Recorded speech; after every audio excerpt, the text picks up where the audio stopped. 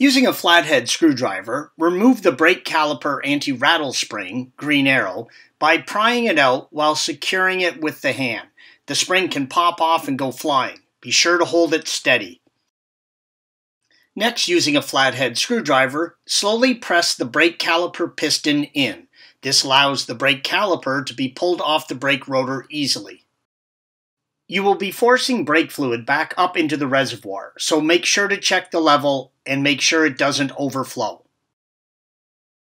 Working behind the caliper, remove the two 18mm rear rotor is 16mm brake caliper mounting bracket bolts, as indicated by the green arrows. Remove the brake caliper bracket from the wheel carrier and hang it using a piece of metal coat hanger. Do not allow the caliper to hang from the brake hose.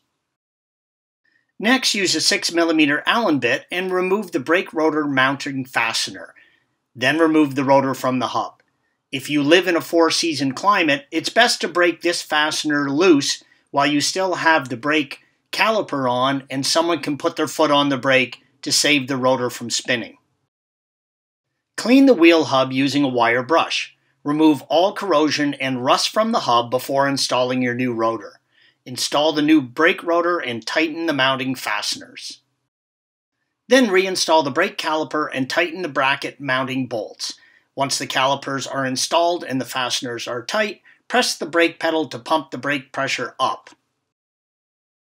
Once the brake pedal is firm to push, install the wheels and check for brake operation. Thanks for watching. Click here to view the original article along with hundreds of other DIY content for your car.